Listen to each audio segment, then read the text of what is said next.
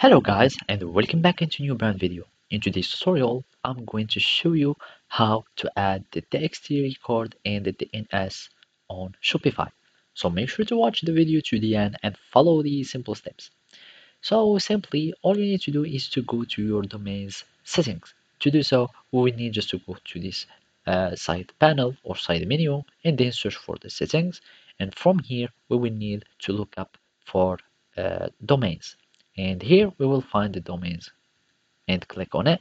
And basically you will need just connect an existing domain or if you have already some domains that you can uh, view or uh, set up or add some configurations you can do it.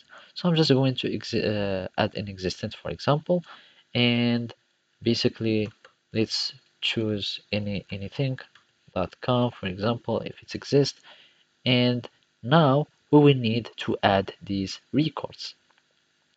So basically, you will have this txt shop verification, you will have the CNAME and these values.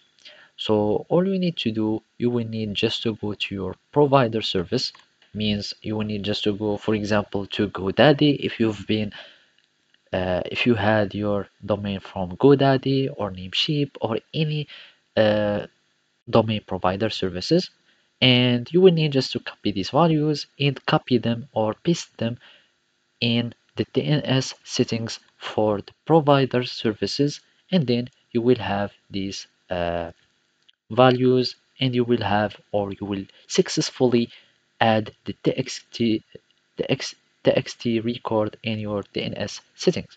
And you will be able to verify the connection and you will have your domain that will be connected with, with your Shopify store and you can start using it. So basically this is how you can do it. Thank you for watching and see you next time.